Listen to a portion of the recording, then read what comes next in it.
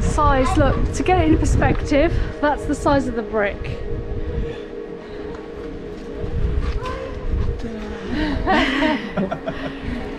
Come on, slow coach. Bringing up the rear.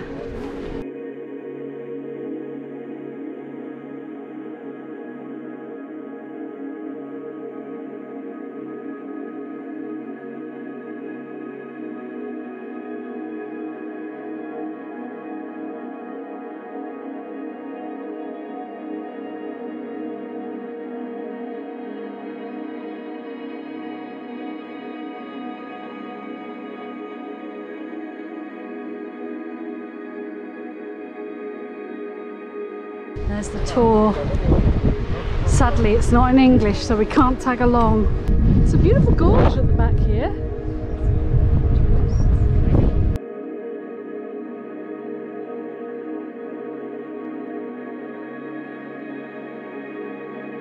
And there are the two gods, Pincius and Perkius.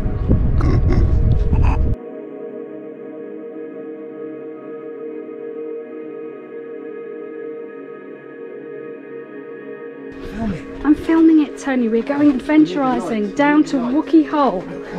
Somebody put the torch on the camera, on the phone. Torch on. Right to the bottom. Come on. Come on, there's no point in adventurising if you can't can't go to the bottom. It's a bit bit slippy. There's a lot of nothing you can't see. Come on. There's like a big cave that goes underneath. Where? Let me. Oh, somebody's definitely been down here and had a pee. Let's have a look.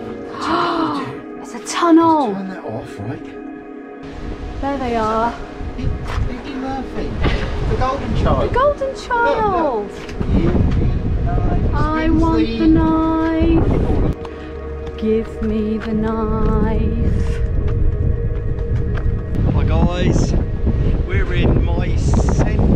Mycenae, windy Mycenae, windy, well, windy Mycenae, and it, I've got to tell you, it's very windy.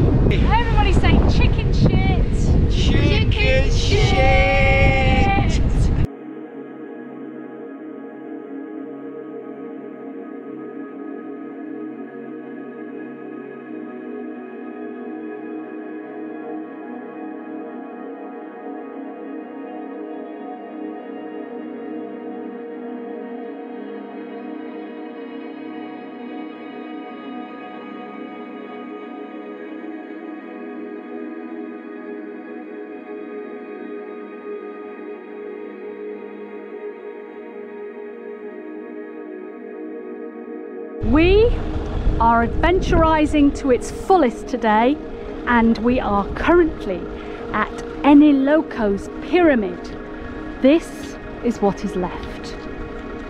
It's a 4th century BC pyramid.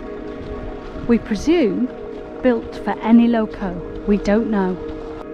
This is our park for night. We're staying here for the night in the grounds of the chapel, monastery I should say church there. Gonna head into the wind while Julie and I. Oh, look at those crocuses! How lovely is that? Hmm. Now we had a bet before we get here. How high would the pyramid be? And somebody bet 25 feet. and I think they've won. Oh, we can go in. I'm excited. The mysteries. Let's go adventurising, Julie. Snakes.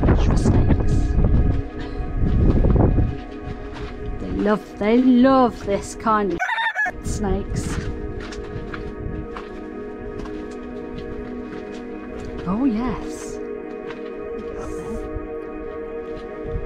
Well, we've been inside the Great Pyramid of Eniloco with its arched roof and big slabs.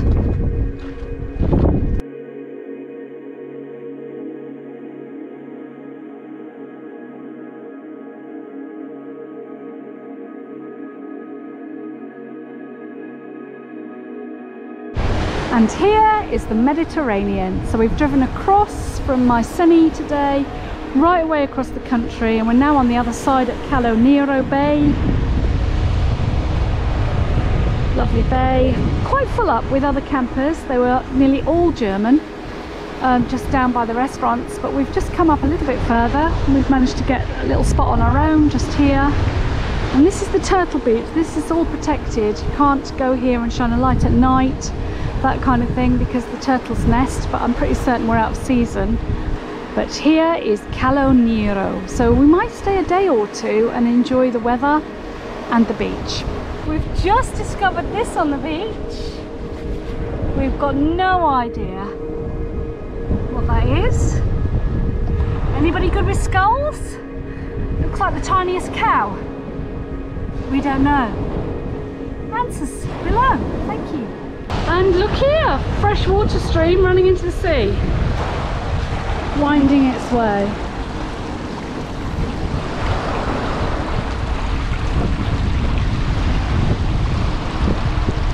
Is this mountain water? Let's feel it and find out. Here we go. It's pretty cold. I think it might be. It's not unbearable, not by long shot. All the reeds have washed down obviously in the spring. So we're cursing through from the mountains. Oh! Julie's learned how to play the reed pipes. Come on Julie, Orinoco flow or something. Go for it. Yeah, yeah, I play the pipes. I'm really good. We play the pipes. It's understood. Discovered, it's a big hole. Julie spotted it. And in the bottom are eggs. They could be birds' eggs. Something could have made a bird's nest here. Or it could be a turtle nest that's been ravished. We don't know. So we've just found a used turtle shell. So that's really cool. Looks like we're not going to be watching any little turtles hatch or any turtles lay, but it's really great to see where they come. And the poor sods do have to drag themselves over that stone and shingle to get up here. So really close to where we're parked, 3rd of July 2022, this one. Poor so-and-so is having to get around this bamboo though.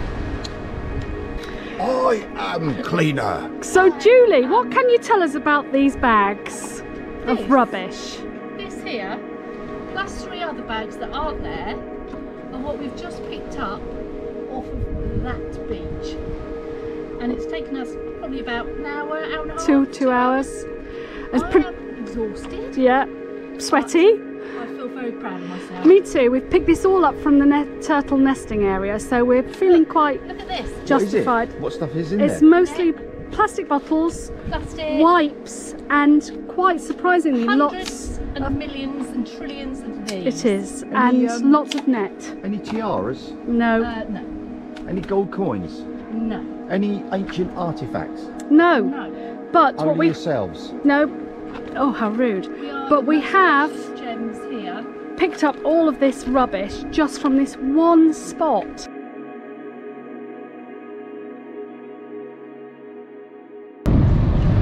Wave!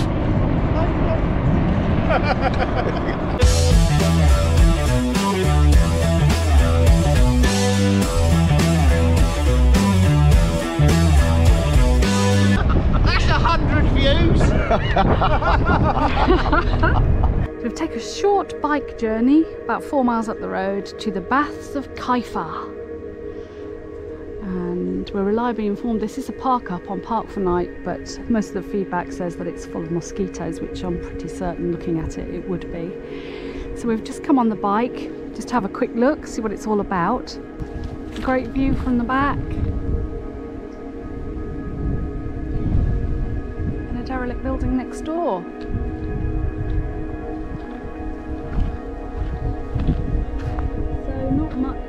Report from the baths of Kaiafa. We've arrived at Zacharo and guess what? It's market day. So we're going to have a lovely look around the market, see what we can see, see if there's anything we want to buy.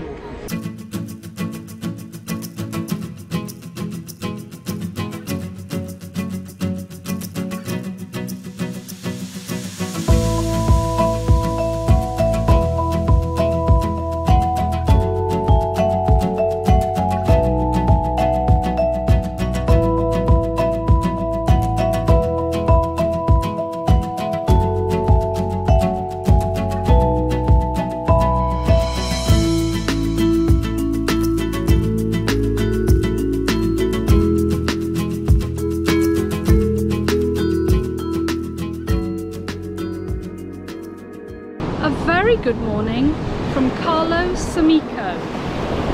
We've spent the last two days doing not very much really on this beautiful park up, free park up, no services. There is a toilet block, but it's pretty disgusting and disused, no flushing water. It's a fantastic sunny morning again. It's going to be about 26, 27 degrees today. It's a beautifully sandy beach as well, no pebbles. It's the first one we've really come across. It's been a really, really great park up. We've loved being here. We haven't done very much, as I said. Some barbecues, watching the sunsets, superbly relaxing. So off we go to Olympia. So we'll catch up with you at the next park up.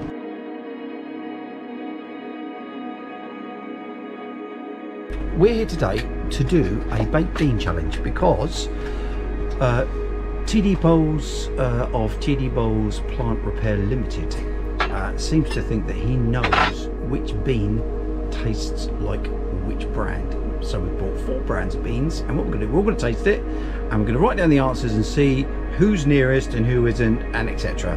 And the winner gets a quick ride on the Citycoco because it's well worth it. So we've got Heinz baked beans, we've got Hubbard's, which is Sainsbury's very cheap brand. We've got Sainsbury's baked beans and we've got Branston baked beans, which are my favourite, and I think I'd know which ones they were. Uh, here's the beans in the bowls. We don't know in the bowls uh, as to which bean is which. So Deborah, Yes, would you like to go first and try and guess? Do you know what's on the bottom of the bowl? I Yes. do. You do. I so don't know which beans it is now. I've mixed them up. I We're gonna do this one Going by the texture, this one Then you need is to taste it and then is the. Branston. you think that's the Branston. So to Tony try. thinks that's the Branston one. I think this is the Branston. So boy. Tony, you taste that and tell me what you think.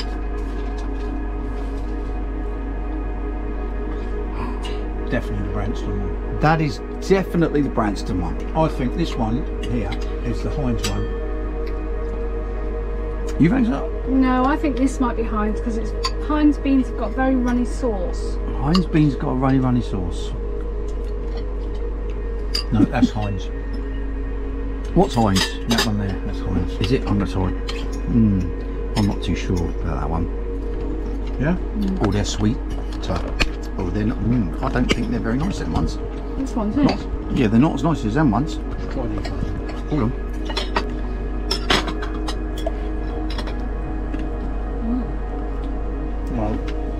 No. these are these are they're Sainsbury's. I'm trying them all before I decide. Sainsbury's, not cheap ones, but they're Sainsbury's Premier brand. Okay, I think that is the Branston. So Me too. Definitely. They're my favourite. Branston, Branston, Branston. Oh, probably. Branston. So we all agree that that is the Branston, Yes.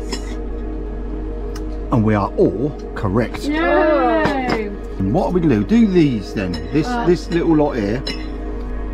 Yeah, I was going to say they're Sainsbury's because I think they're the Sainsbury's other No, ones, they're and they're Heinz. the, they're the Heinz. Right, there. No.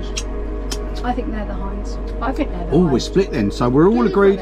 We're all agreed that this is the No. Sainsbury's. cheap Sainsbury's. No, these are the cheap Sainsbury's. No, cheap Sainsbury's. Sainsbury's. Oh, Yeah, right. Sainsbury's. Hubbard's. Yeah, These Hubbard's. That's cheap it, Hubbard's. Yeah, These are the cheap ones. they're Hubbard's. Yeah. They're No. Heinz. No. We think that they're I think- Sainsbury's hang on, cheap hang on. ones. We Ready? think they're Hubbard's. Oh, they're Heinz! The Oh, Heinz. well Say, I got that Oh, right. that's you want, those beans. you two have got that wrong. Me and Tony got that So They're right. Hubbard's. They're the Hubbard's, These are, these are and these are the expensive- Sainsbury's. They're more They're Hubbard's. Yeah. No, they're Yes. the cheapest bean. They're the, Oh, the they're cheapest bean. They're the cheapest there's bean. cheap beans. Sainsbury's. Just to let you know, guys, we got that absolutely spot on. Meantime. No, because I got them. Oh, I got it all right.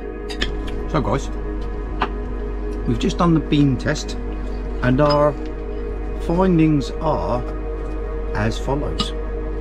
These beans are Sainsbury's, the Sainsbury's baked beans. beans, and they are not the best beans, to be fair. Um, our second Least favourite. least favourite are Heinz baked beans, which um, out of these four taste third best. Surprisingly, Our second favourite. our second favourite are these. The cheap ones from Sainsbury's. The cheap ones from Sainsbury's, the Hubbard's Food Store baked beans and tomato sauce.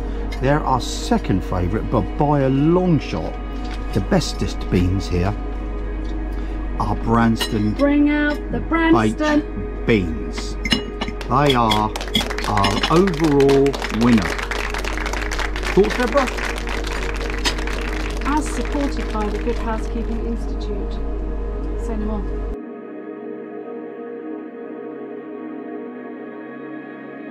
Welcome to the archaeological site of Olympia, the most important religious centres of antiquity. Its power and influence was felt throughout all of the Greek world. And in this place, Zeus, the father of Olympian gods, was worshipped. Well, Mr. Bailey, I'm here. I'm praying to Zeus for your six numbers to come up as requested. Well, here's a surprising fact. The Olympic Games was established in 776 BC. That's And this is where the everlasting flame was lit from. So it's a really important part of the Olympic Games and still is today.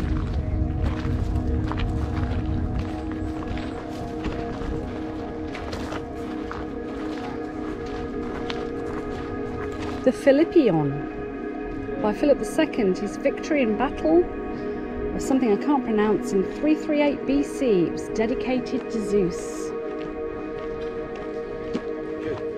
And once again, Mr. Bailey, I'm praying for your six numbers as requested to Zeus. Winner, winner, chicken dinner, Zeus. Interestingly enough, the round platter at the top looks very similar to the Olympian bowl where they light the fire. But here it is, the exclusive villa of Nero. This is probably where all his servants lived, stabling his horses and his chariot, his own private water well. I'm making this all up by now. I am the winner, Julie.